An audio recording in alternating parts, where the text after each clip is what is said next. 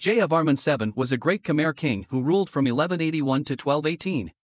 He was known for his many accomplishments, including rebuilding the temple cities of Angkor Wat and Angkor Thom. One of the most famous statues of Jayavarman VII is located in the National Museum of Cambodia in Phnom Penh. This statue was missing both arms, and for many years, no one knew why. There were a few theories about what happened to the arms. Some people thought that they were stolen, while others thought that they had been destroyed in a war. However, in 2019, a team of French and Cambodian archaeologists made a breakthrough discovery. They found fragments of the statue's arms in the Angkor Conservation Depot in Siem Reap. The fragments were a perfect match to the torso of the statue in Phnom Penh, and they showed that the arms had been broken off at the shoulders.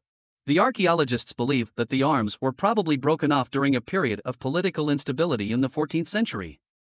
At that time, the Khmer Empire was in decline, and many of its temples were looted and vandalized.